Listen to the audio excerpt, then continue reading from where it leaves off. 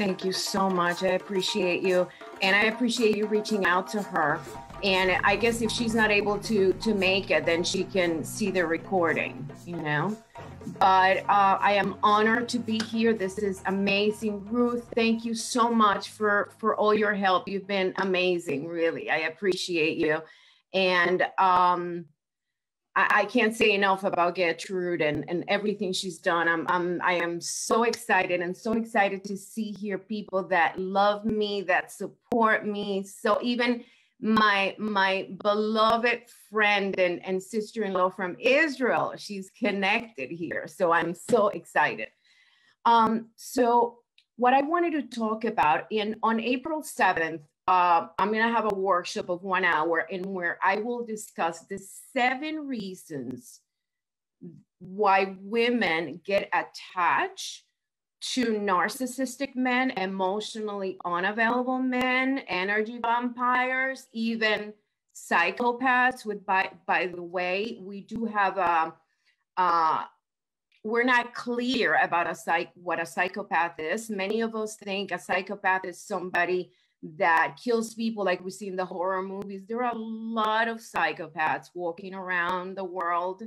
Um, and we think these people are okay and they are psychopaths. So basically, on April 7, I will go deeper into the seven reasons why women get attached to these kind of individuals. But today, we're only going to discuss one, which is the mother wound. The mother wound is what happens to many of many children like me where we are put down by our mothers we are gaslighted by our mothers gaslighting what the gaslighting terms what it means is that our feelings are being dismissed or we are told that's nothing. What are you talking about? What, why are you making such a big deal? Why are you crying? Like that was nothing that's dismissing our feelings. The mother wound is created when we are denied our feelings, we are dismissed, we are not mirror. Mirroring is so important for a human being. For a child, that's crucial. Mirroring is when a child falls down and, and a mother says, Oh, baby, I'm sorry that you fell down. Are you okay? Can I help you with this? That's mirroring. That's when children learn to identify with themselves, right? And to actually see, oh, okay, so yeah, I fell down. So, uh, okay, so my mom is doing this. So that means, yeah, it's supposed to, I'm supposed to heal. That mirroring is crucial. That's when a child learns to connect with herself, right? So when we're not mirror, when we are told, oh, ah, shut up, what are you talking about? Why are you making such a big deal out of this? When we, when our parents do that, when our mothers do that consistently, because maybe one day our mom is frustrated, overwhelmed, and she does it one time. But when it is done consistently, the child learns to disconnect from him or herself, right? So mother wound also happens when um, we feel that our mother loves us a lot less than what she loves other siblings, right? When uh, we see her love, devotion, and everything for other children. Now, somebody very wise said one time, I don't know who it is, but this quote is unbelievably helpful. It says the only true existence a human being has is between birth and nine years of age. After that, all we're doing is recreating the patterns or reliving the same story. Of course, unless we decide to heal. So, what does that tell you?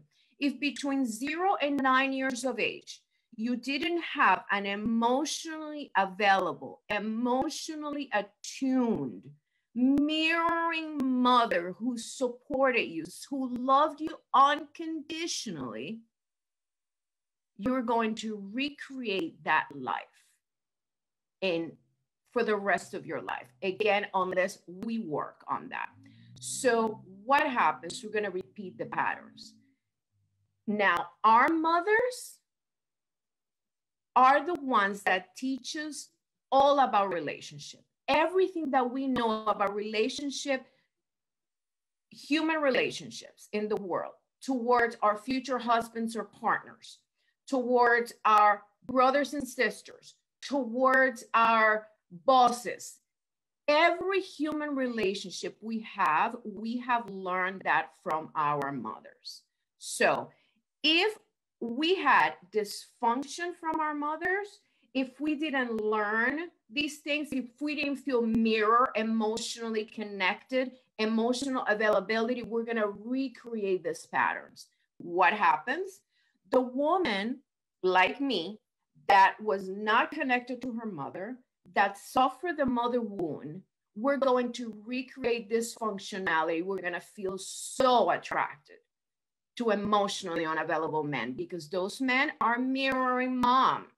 We're going to feel so sexually aroused by men who are emotionally unavailable. We're going to find them charming because they're reminding us subconsciously to our home.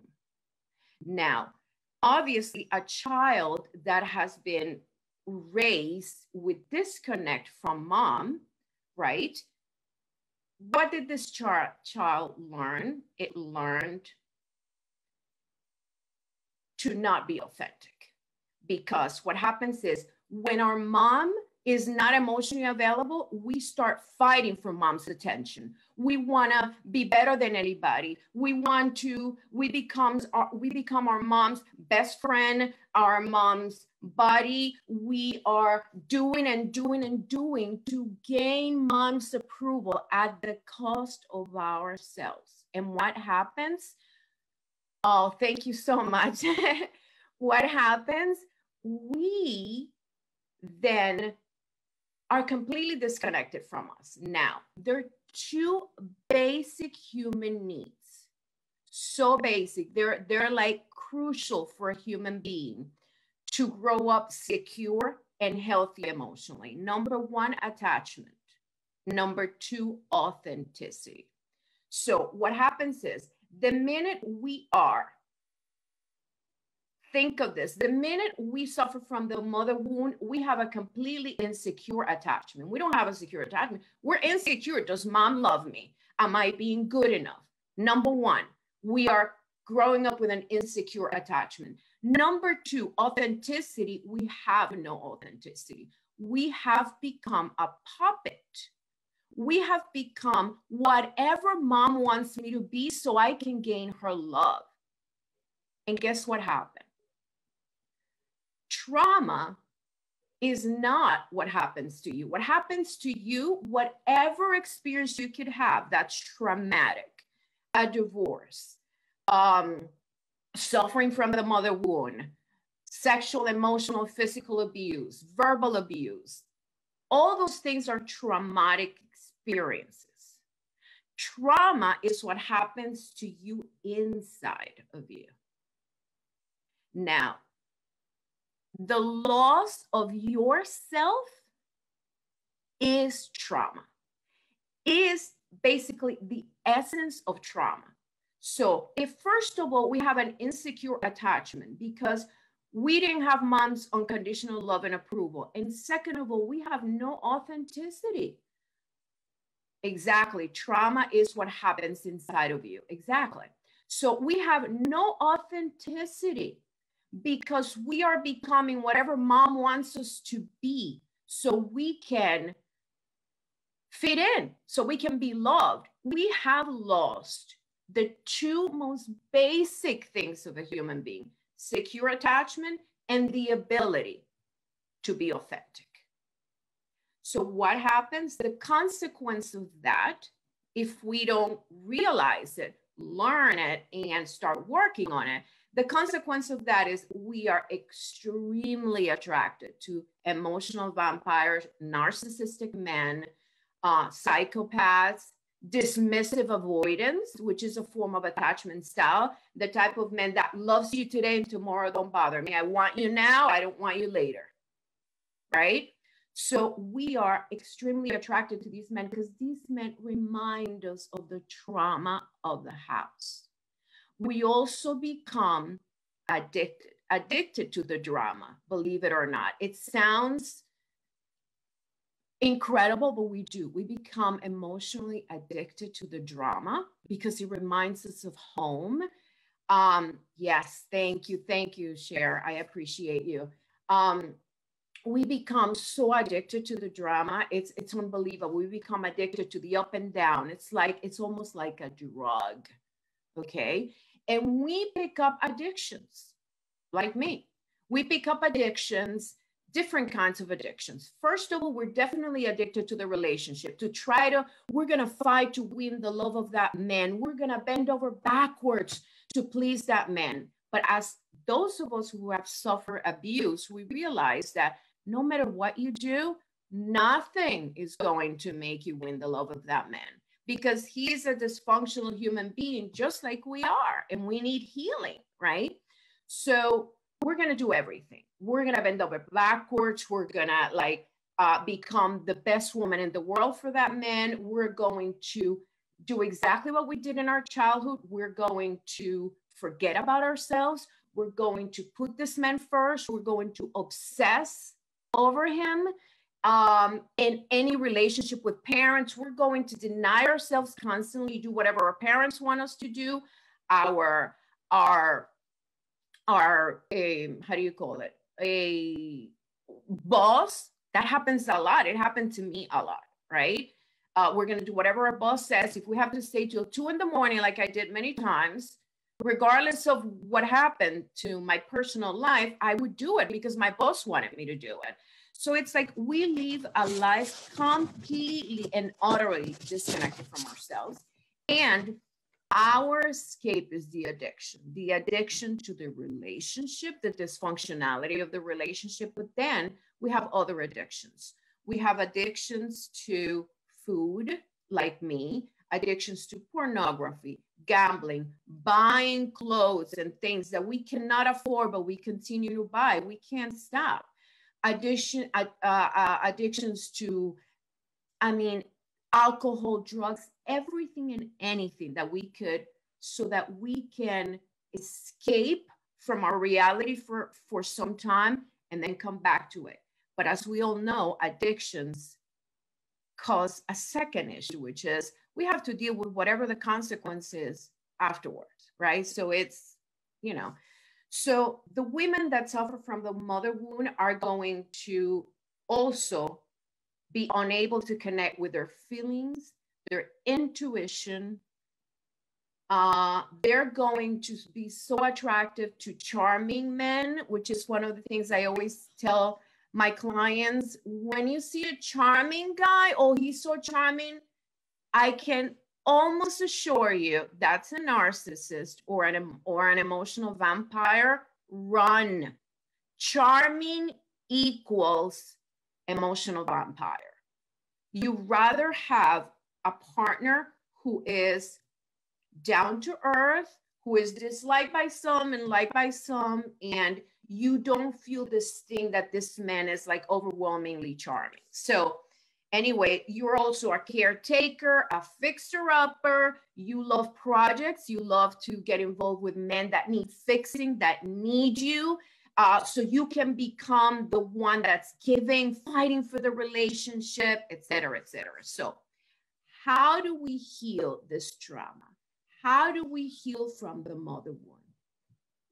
The first thing that we need to do is we need to reconnect with ourselves. Reconnection with us is what we didn't have. What we haven't had perhaps since our childhood. We have been connected to other people's needs. We have lived our lives to fix, to love, to overgive, to put others first. It is time for us to reconnect with us. How do we do that? First of all, taking time for ourselves. Like I always tell my clients, first thing in the morning, has to be your time. And let me tell you, if you have to get up at five in the morning to do this, it is so worth it. Before you attend anybody in your family, before you grab your phone, before you start working, before you start your workout, take time for yourself to connect with yourself. If you pray, time to pray. If you meditate, meditate. I have a routine where I do meditations first, then I pray, then I journal. Journal is amazing. Why is it good? First of all, because it's one of the three ways in which you connect with your, with your subconscious. And all trauma you've lived in your life is in your subconscious. So if you write, you are connecting with your subconscious. Hypnosis is another way to connect, the most powerful way in the world. And then you have meditation. So journaling. And then after that, then I go to the gym, come back, take a shower. So I can get up at five or six in the morning and I don't start my day till 10 o'clock. And all that time is for me to connect. I'm not telling you to do that, but you can set up half an hour, 45 minutes for yourself in the morning. Also, when you are asked to do something, go inside yourself and feel whether you want to do this or not. If you need to tell a person, you know what, let me think about it and I'll come back to you. Do it.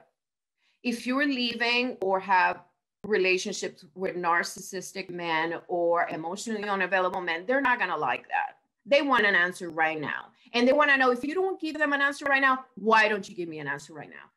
You don't have to explain yourself to anybody unless it's a police officer or a judge. You don't. You don't have to explain or give a reason why to anybody in the world unless it's an authority. Okay. So, unless it's an authority. So, basically, uh, reconnect with yourself, feel your body reconnect with your body. Okay. Super, super important. Mourn the mother that you didn't have. Many of us grew up feeling our mothers are the next thing next to God. And yes, they're amazing. I adore my mother. My mother asked me for forgiveness. We had an amazing relationship before she passed away. Yet that doesn't take away the fact that I suffered the mother wound and I had to heal from that. So mourn the pain of the mother you didn't have. Reparent yourself. Now you're an adult. Now you can become the mother you didn't have. Last but not least, I would highly recommend hypnosis. Hypnosis to me is the holy grail of healing. Nothing helps more than hypnosis because all of our trauma, all of our painful experiences are located in our subconscious. So, in order for us to heal that, we have to go into our subconscious, right? And reprogram that story. And there's specific ways of doing it. So, I encourage each and every one of you to um, to heal, to do the work that you need to do to heal from the mother wound because it is a very deep wound that draws us, makes us a magnet to narcissistic and selfish men, and we feel attracted to them. So, with this, I end this session. I thank every one of you here for attending. And if you need any help with this, this is what I do. I it's my passion. I help women heal from this, and I could be reached at help me at um, imbettingonyou.com. Thank you. Thank you.